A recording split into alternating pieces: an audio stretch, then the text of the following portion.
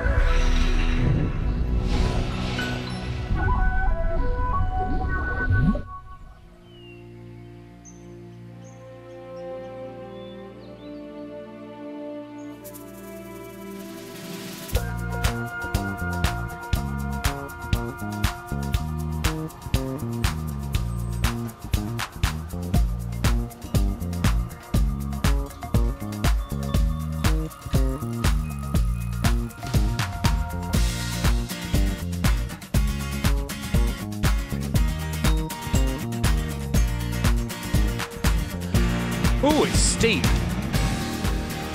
Oh, it's right at the top.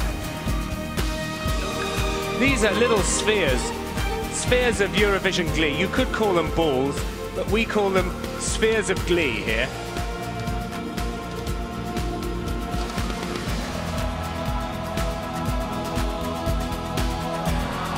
They represent the hopes and glitterball moments of millions of Eurovision fans gathering together to share the moment.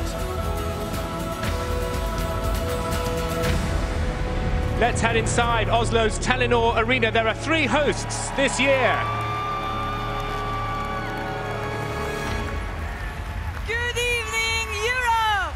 Erik's on the left, he's the boy. Nadia is on the right, and Haddy is in the middle.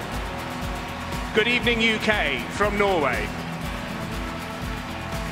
Around the continent, there's a financial crisis. They're banging their heads about the euro. Here, they're grinding their hips. Forget the euro, this is Eurovision. They've forgotten their wives tonight. Let's hear the start. Welcome to the 55th Eurovision Song Contest. Bonsoir l'Europe et soyez les bienvenus au 55e concours Eurovision de la chanson. With a record-breaking total of 387 points, Alexander Rybak captured the hearts of Europe and brought the competition back to Norway. And because of that, tonight we can say Velkommen til Oslo! You should give that a go, you know. Velkommen til Oslo.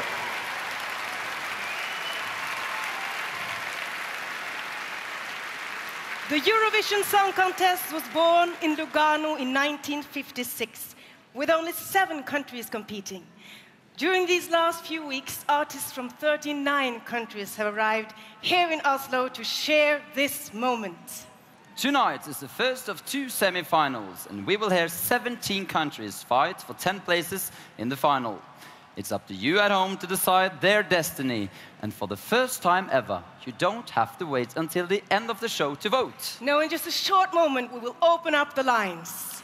Yes, that's right. And in addition to your votes, each country has a jury that will also vote for Now, their favorite without performer. boring you, En plus d'un there is a jury, vous qui allez but the UK is not voting tonight. soir et les The jury chansons qui vont system might very well make a change to how it's normally run, let's have a look at the but the numbers that appear UK is not voting tonight.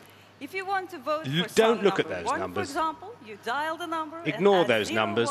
At. Look at those Or numbers and say, 11, those aren't numbers. You dial 11 at the end. Don't look at them. And this is how it works all The the UK votes on Thursday. Sur votre écran, s'inscrit It's under Rule les numéros de 5042. téléphone. Votez. Les deux derniers chiffres We're watching, channeling for countries we want. pays. Mais attention, vous ne pouvez pas voter pour votre propre pays.